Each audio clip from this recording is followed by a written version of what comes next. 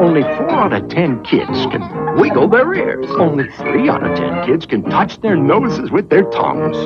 But eight out of ten kids who taste Chex like Chex. They like Chex one-of-a-kind shape, one-of-a-kind crunch, one-of-a-kind great taste. And that's good news for eight out of ten moms looking for a wholesome cereal their kids will like. So while only six out of ten kids can stand on their heads, eight out of ten kids who taste Chex like Chex.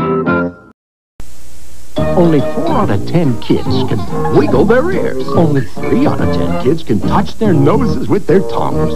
But eight out of ten kids who taste Chex like Chex. They like Chex one-of-a-kind shape, one-of-a-kind crunch, one-of-a-kind great taste. And that's good news for eight out of ten moms looking for a wholesome cereal their kids will like. So while only six out of ten kids can stand on their heads, eight out of ten kids who taste Chex like Chex.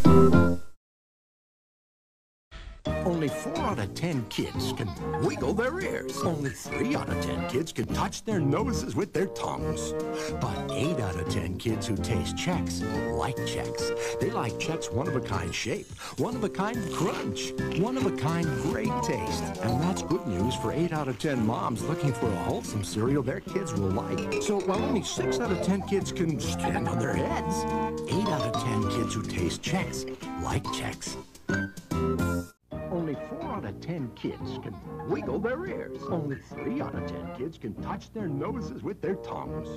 But eight out of ten kids who taste Chex like Chex. They like Chex one-of-a-kind shape, one-of-a-kind crunch, one-of-a-kind great taste. And that's good news for eight out of ten moms looking for a wholesome cereal their kids will like. So while only six out of ten kids can stand on their heads, eight out of ten kids who taste Chex like Chex.